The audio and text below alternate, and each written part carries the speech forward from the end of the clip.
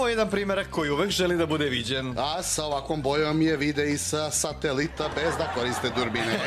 E, to je bila zamjenica CC, nova muških srca lomilica. Nećemo se nagledati nešto kasnije, nek malo ostali dođu do izražaja. Ajde, ko će prvi? Evo oni nek probiju led. Ajde, ovdje ste, neko probijenja vam ne gine. Aj, dosta mi je probijanje, daj da Molim te, ne interesuju nas vaša seksualna iskustva.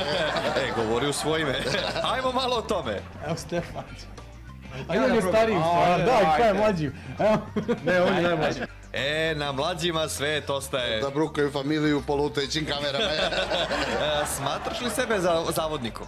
Pa mislim da jesam sad, ne znam. A šta pevaš devojkama ispod prozora? I umreti mogu. Pa nije neko muvanje, mora ti plaća saranu. Ali svakako jedan aplauz za mladog Kazanovu. Lepo, ako smuvaš tu devojku, seti se ove podrške da se malo družimo i s njom. Svi zajedno ili? Nemoj svi zajedno plus kamera mislići da snimamo svašta. Ajde, koji broj pitanja birat? Ajde, nek bude sedam. Evo, ajde. Nek bude sedam. Ajmo, da li ste ikad imali iskustvo bliske smrti, ne računajući rasprave sa suprugama, mislim leteće tanjire, pepeljera i slično. To mi ili ovako kao familija? Ti bre kao deo familije tvoje familije. Ja, jesam, imao sam jedno. Jo, izgleda si jedan od nas koji je više ispirao stomak nego lice. Ali hvala Bogu, što živ. Sve okej. Imao sam i ja jednom kad sam kiksnuo. To je bio za mene šok. Blizu smo. Kako si izlečio taj šok? Sljedećim nastupom sam to. E, dobro, kad smo kod klinova i klinki, je li bilo nešto po tom pitanju? Pa ne, ulitalo se u svašta, ali I koje ćete pitanje? 12. Broj futbalera Srbije na terenu koji bi vas da trebao piksio da se ne brokamo. E, nego jeste li imali nekad paranormalno iskustvo? Pa nikad. Iako jeste Ja, je jesam možda jednom, ali ne bi sad o tome, nije ta priča, zato malo je teška priča. E, Sljedeće pitanje, 17. Broj futbolera Srbije na terenu koji bi vas da trebao Pixi odigramo, bar ne rešeno. nego imate li možda neke skrivene talente? Meni je bio futbal, ali pošto sam koljeno Joj, što te ne udari u glavu, možda bi znao da biraš reči za TV. pa šta je sa kolenom? Meni je levo koljeno, bukvalno imao sam pro- problem sam imao sa lijevim koljenom i onda sam prestao i počeo sam da pjevam. A, znači od muke i bole. E, ti onda vrlo emotivno pevaš, samo ti treba nešto slomiti. Šta je tebi sidiče, nešto si se učuto? Nisam se naspao. Nadamo se da imaš validno i ženstveno opravdanje. Pa dobro, sad s tim nećemo to.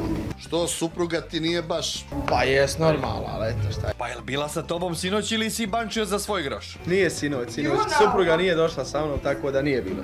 Mutiš nešto sidiče ko balkanski političar. Imaš li ti svedoke da si bio veran? Bio je prijatelj. Bio da ti drži sveću. A, nisi se naspavao, a bio sam prijateljem. Gdje tu lokava? Nisam hrće ko... Lele i ovaj moj kolega Burgija Kohilti. Ajmo, sljedeće pitanje. Situacije tri.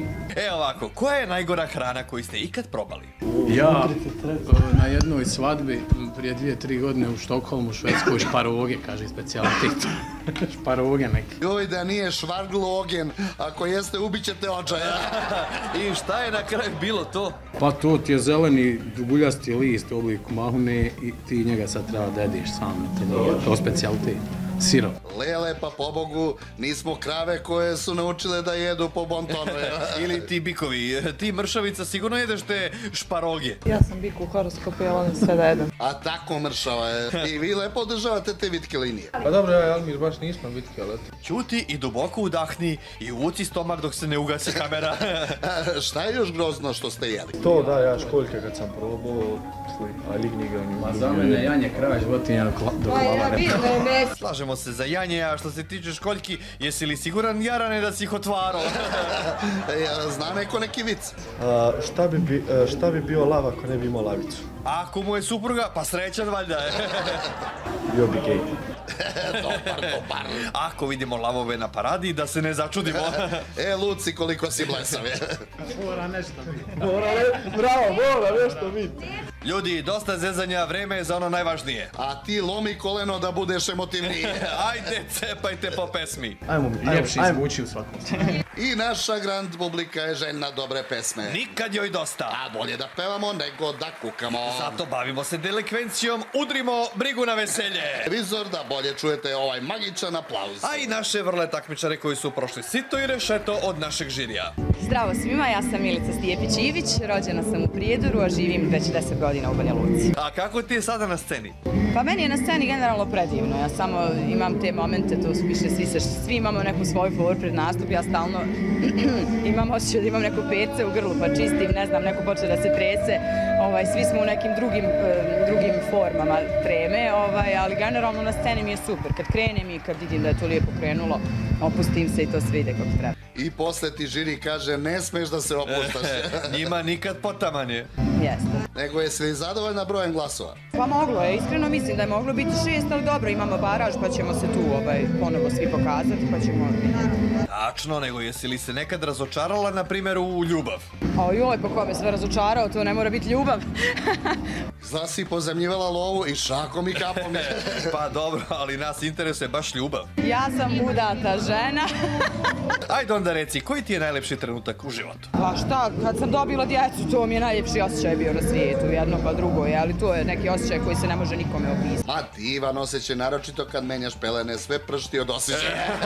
Kad smo kod braka, jel te neko nekad pošteno istraumirao? Joj, majko, ko vam smišlja ova pitanja? Pa ne znam, ne želim realno nikoga. Pa imaš muža, on služi za to, ja. Dobro, muža, muž je muž, mislim, ali ovako sad koga, baš da bi me neko istraumirao, ne bi. Znači, samo muž. Sad će me sahraniti, znači. E, dok još možeš da pričaš, reci nam šta najviše mrziš kod ljudi. Kad neko zrači negativnom energijom, kad pitam šta je, a taj neko kaže nije ništa, vidiš da jeste, ili ne znam. Prosto to prenošenje taj, energije negativne, a, a iz nekog nepoznatog razloga. To, to, na to sam alergična. Jer ja uvijek kažem tačno, ako znam šta mi je, jel tipično ženski, onda kažem odmah šta mi je, nebitno da li je to mama, tata, drugarica, bilo ko, muž, naravno. A sada spektakl. Najenergičnija takmičarka ove sezone. Eve ti mikrofon i pričaj koliko ti volja. Ne znam ja gdje to pali. Ma činga ti pipneš Moj se ne pali ovako. A je se ti pališ na mikrofone? A ne pali se. E, odliče ti te čizme od koje vrste žabe su napravljene? Kako god, baš su erotične. Da. Jel? Okej, dobro. Zaključak je da si stvorena za žarenje i paljenje. dakle, roštilj majstorica je. Za žablje batake. Nego, kako se trenutno osjećaš? Hoćem se kao gospođa neka u ovoj fotelji. E, Pa, gospođo Kermit, kako se osjećate kao stalna stanovnica baraža? Meni to po baražu vrh. Majke. Da bolje se izuči zanat i oguglaš na ono salo. Dalje ide, dalje ide. Jedan je grand. Nema to svako. Ma. Tako je. O, Gremi je takmičenje nezanimljivo. Nego na koga su ti rekli da ličiš? Rekli su mi da ličim na e, smrdi bubu. Pa što smrdi buba? Da, zato što sam zelena skroz. Da, i teško te se otarasiti. A jel se smrdi bube zaljubljuju? Ma kakva ljubav?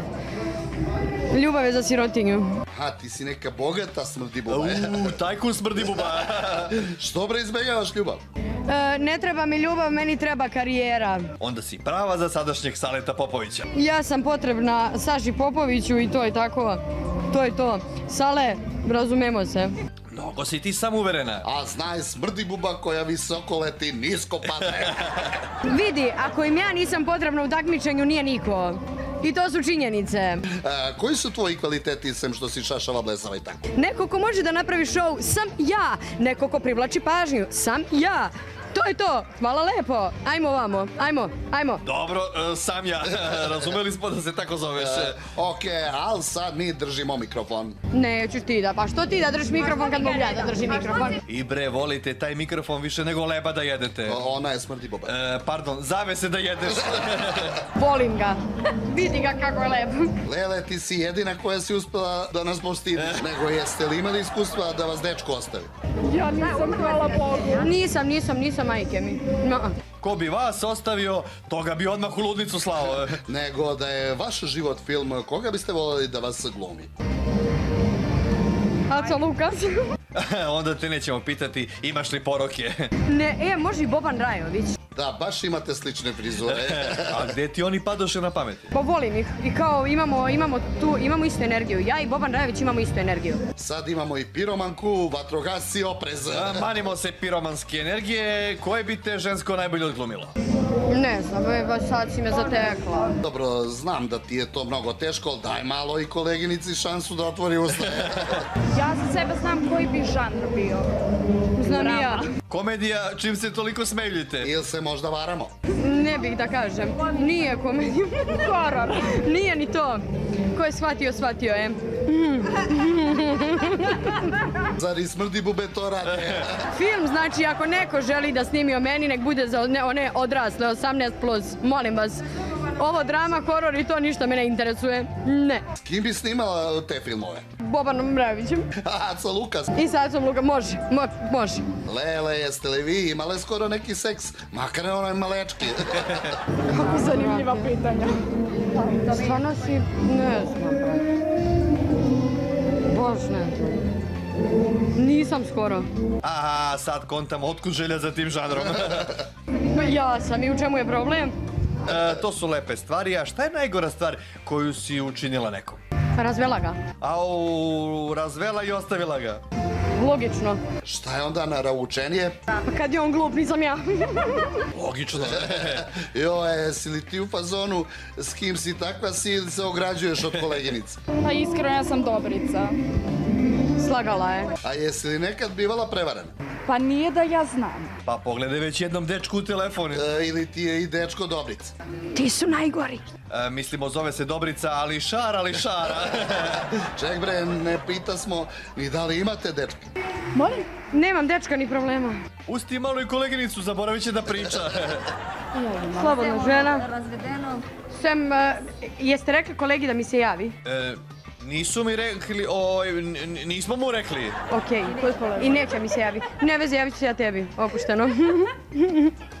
Lagano. Imam ja druge Lagano. neke. Neću drugo, nisu oženjeni. Ja tražim oženjenog kolegu. Aha, nisam, nisam u to. Mm, tako da, nemoj da brineš, mislim kao, ne možeš pobeći, tako da. O, okej, javi se na 064, a za ostalo se već nekako snađi. Da, pa mislim, ja mu ostavljam poruke već četvrti put i četvrti put on ništa ne. Pa nešto mu se ne razvodi u poslednje vreme. To je na njemu, da li ću da ga razvedem ili neću. Ženu. Pa logično da ima ženu ako je oženjen, mislim kao, ima logike. Imaš još neku poruku za, men, oj, za njega? Nemam, ne želim da mu ostavljam nikakve poruke, stvarno smatram ono da bi, budi muško. Hvala. To je bila naša najšašavija grandovka sa činom razvodnice. I njena krajnje nedorečena drugarica.